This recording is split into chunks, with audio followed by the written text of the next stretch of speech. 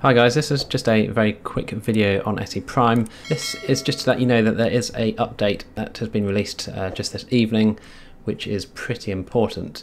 So if you have a look at the storage use here on the SCPrime network, you'll see that over the last couple of days, there's been a massive drop in the amount of uh, capacity that's been used up. Now this is due to an issue in the code, which they have now sorted, and it is all explained here. I will put a link to this in the description but basically data is getting deleted before it should do. So not ideal for a data storage provider. So it's good that they've actually fixed the problem now before main customers get on board and start using the system.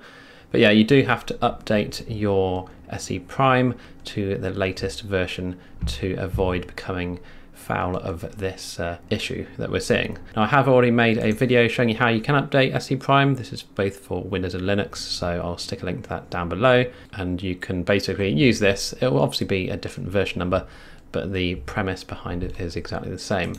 So yeah, make sure you get your providers updated as soon as you can to avoid losing any of your test data here because obviously we are still getting paid for the test data at the moment so you don't want to lose any if you can avoid it. So as always, let me know if you have any problems down below. Don't forget to like and subscribe, and I'll see you in the next video.